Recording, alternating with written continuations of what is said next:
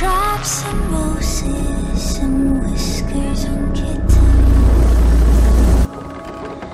Bright copper kettles and warm woolen mittens. Brown paper packages tied up with string.